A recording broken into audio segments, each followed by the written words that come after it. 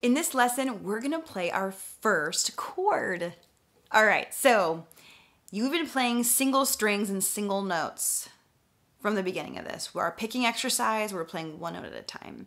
And in the warm up we just did with our left hand, one note at a time. But chords are three or more notes or strings strummed at the same exact time.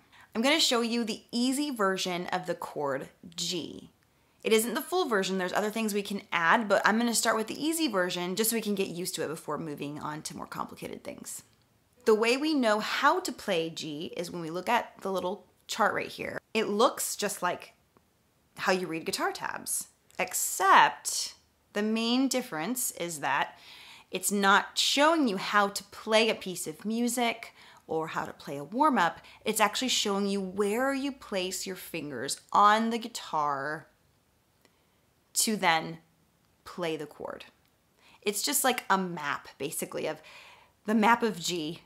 How do I play G? Where do I put my finger? So, as you can see, the first fret is empty.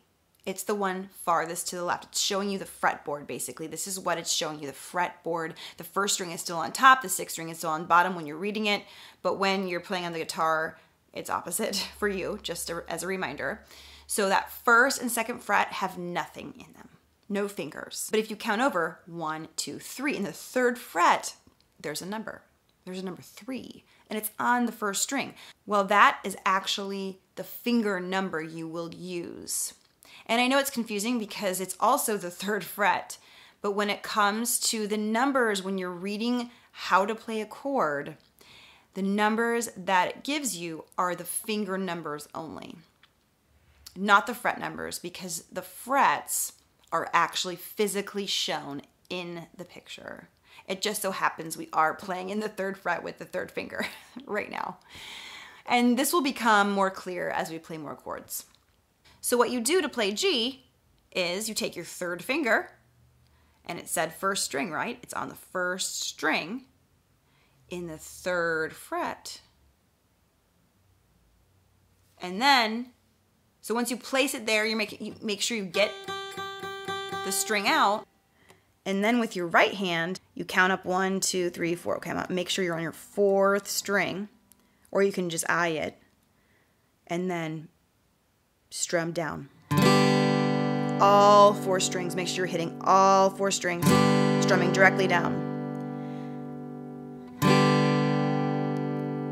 If you hear this sound, your first string isn't coming out or you hear another string not coming out, adjust your fingers accordingly. So what I was doing with my left hand to make that come out is I'm just not pressing hard enough. So I'm gonna, I'm gonna press hard and get that out. And then play all four strings. A thing you want to confirm every single time you're playing a chord at first is that before you start strumming even, play each string. Is each string coming out? Even if you don't have to press a finger on it.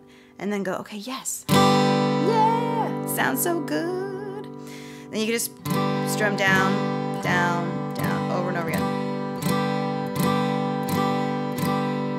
Make sure you're only playing these four strings because adding these strings in it's not part of the G chord, so it doesn't sound good. So this is why when we're only playing with our third finger in the third fret, we're going down four strings. The full chord has all six strings. We'll add other fingers from there. And you might be asking, okay, why don't we I use my first or second finger in this? Because it's easier to use to press down, but the full chord of G places your finger, your third finger right there. So you we're just getting used to where our third finger is going to go for the full version of G.